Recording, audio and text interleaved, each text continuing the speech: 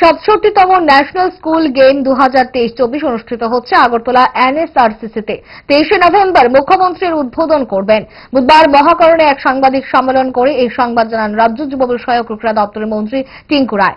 এছাড়াও উপস্থিত ছিলেন দপ্তরের সচিব পি কে চক্রবর্তী এবং দপ্তরের অধিকর্তা সহ অন্যান্যরা। মন্ত্রী জানান, সারা দেশ থেকে তিনশো একান্ন জন প্রতিযোগী এই ক্রীড়াযজ্ঞে অংশগ্রহণ করবে। ইতিমধ্যে প্রতিযোগীরা আসতে শুরু করে দিয়েছে। প্রতিযোগীদের মধ্যে একশো চুয়াত্তর জন ছেলে এবং একশো সাতাত্তর জন মেয়ে। যার মধ্যে তিনশো একান্ন জন তারা রেজিস্ট্রেশন করেছেন।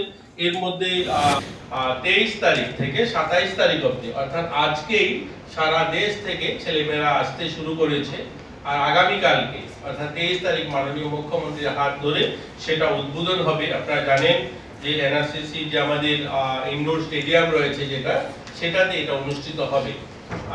এবং সেখানে সংখ্যাটা বেশ ভালো সংখ্যায় যারা আসবেন, যারা খেলোয়াড়রা এদের সংখ্যা প্রায় তিনশো একান্ন জন ইতিমধ্যে যারা রেজিস্ট্রেশন করেছেন, যারা আসার জন্য টিকিট নিয়ে নিয়েছেন, যারা আসছেন, রাস্তায় রয়েছে আজকেই অনেকে পৌঁছে যাবে যার মধ্যে তিনশো একান্ন জন তারা রেজিস্ট্রেশন করেছেন।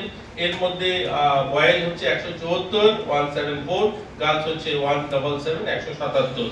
এবং অফিসিয়াল পঞ্চাশ জন ইতিমধ্যে যারা রেজিস্ট্রেশন করে, টিকিট করে আমাদের অফিসের সঙ্গে যোগাযোগ করেছেন, তারা আসছেন। আরও হয়তো এটা সংখ্যাটা বাড়বে কালকে অবধি।